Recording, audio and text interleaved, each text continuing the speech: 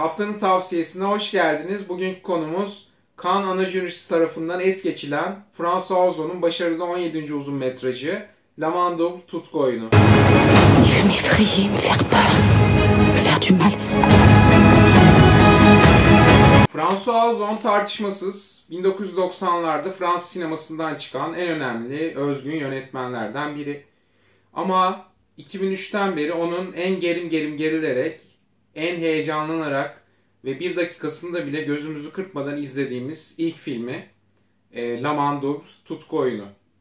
E, açıkçası yönetmen kendisinden aranan özgürlükçü, tavizsiz, erotik gerilime burada imza atıyor. Hem de melankolik ve fantastik e, rötuşları da gayet yerinde yaparak bunu becermiş. E, ve açıkçası da e, finaldeki e, eşcinsel bir e, itirafa kadar giden e, noktada da e, çok anlamlı, manidar olmuş. E, açıkçası François Ozon'u e, daha ziyade e, sitcom gibi, kızgın taş, taşlara düşen su damlaları gibi, sekiz kadın gibi e, eşcinsel ruhunu belli eden e, filmleriyle sevip sayıyorduk. Ama özellikle e, bu filmlerin sayısı azalmaya başladı son 10 senede. E, yavaş yavaş yönetmen kendini ahlakçı bir aile babası konumuna yerleştirmişti. Ama Lamandul'da açıkçası e, nasıl yeni kız arkadaşım da Ruth Rendell romanından e, bir e, trans erkek e, melodramı gerilimi yaratırken e, Almodovar ile Hitchcock'u birleştirdiyse e, burada da e, benzer bir şekilde bu kez e, De Palma'nın e, psikolojik gerilimlerini, e, postmodern gerilimlerini akla getiren ve ismiyle de Body Double ile benzeştirilebilecek bir esere imza atmış. Ama esasen yönetmen burada kendi e, LGBT bakışıyla bir e, Hitchcock'un e, Vertigo'da devreye soktuğu lookalike gerilimi yani ikiz kopya gerilimini çift gezeri de kendine göre yorumladığı bir noktadan uyguladığı ve Sisters soyundan karşımıza çıkardığı bir yapıtla yüzleşmemizi sağlıyor.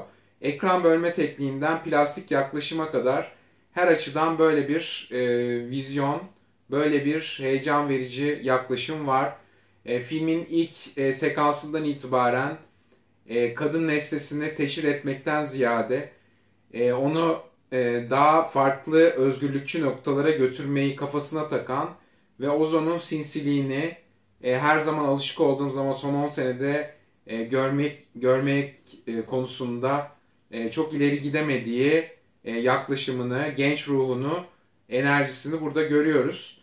Ve açıkçası da e, neredeyse hani e, Sisters e, soyundan e, eşcinsel ruhlu, e, plastik e, ve e, sersemletici bir erotik gerilime imza atıyor François Ozon. E, bunu yaparken de Marina Vah aslında genç ve güzeldeki ahlakçı baba e, tutumuna malzeme edilen bir oyuncu olsa da burada tamamen Ozon'un özgürlükçü oyunlarına girmiş.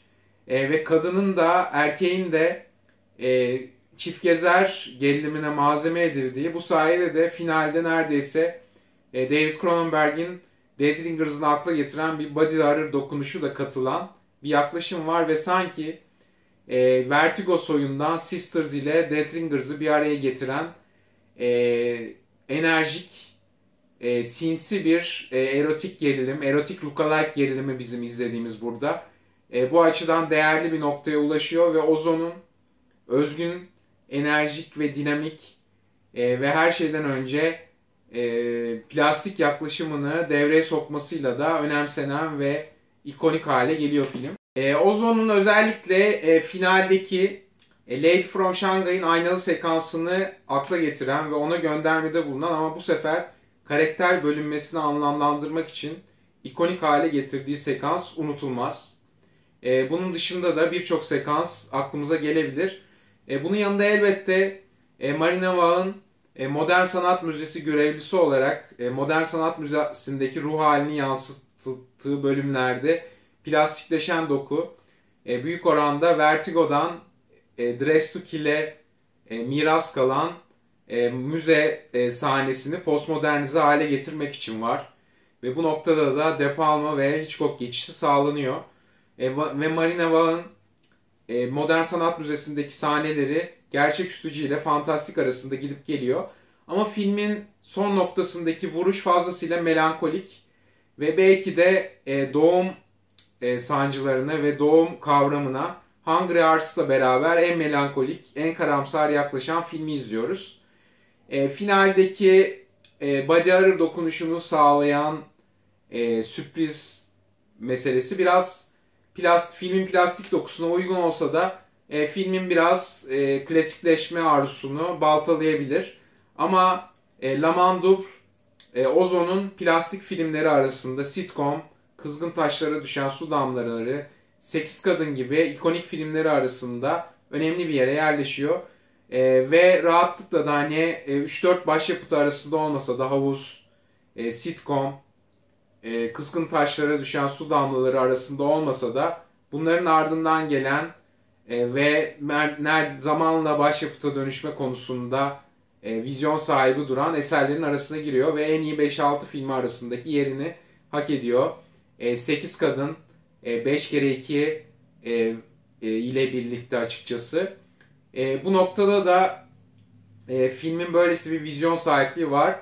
E, Ozon burada e, lookalike erotik gerilimini yani Hitchcock'la devreye girip e, Dress to Kill, Body Double, Obsession ile e, De Palma'nın elinde postmodernize edilen bu alt türün sefasını sürmüş.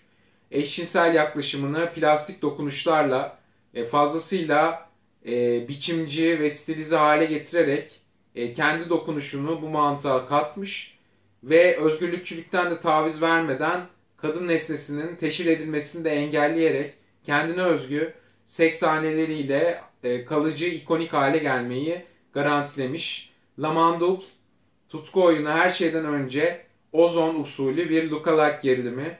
Bu açıdan da zamanla daha da değerli hale gelebilecek ve Ozon'un yıllardır e, beklediğimiz dinamizmini, coşkusunu, sinsiliğini yansıtmasıyla dikkat çekici ve Ozon'un 10 yıldır çekmesini gerek çekmesi gerektiği filmi e, karşımıza çıkartması çok değerli ve e, yeni kız arkadaşımla beraber bunu da yapmasıyla belki gelecekte de böylesi işler yapabileceğini e, bize ispatlıyor ve e, bu sinsi erotik gerilim e, özgürlükçülüğüyle de e, ekran bölme tekniğine yaklaşımıyla da e, kurgu tekniklerini yansıtma şekliyle de çok değerli ve çok e, saygı duyulası, alkışlanası e, bir noktada e, sinema yolculuğunu tamamlıyor. Benim tutku oyununda puanım 10 üzerinden 8. Sizin tutku oyununda puanınız kaç? Görüşlerinizi bildirirseniz ve YouTube kanalıma abone olursanız sevinirim. Sonraki videolarda görüşmek üzere.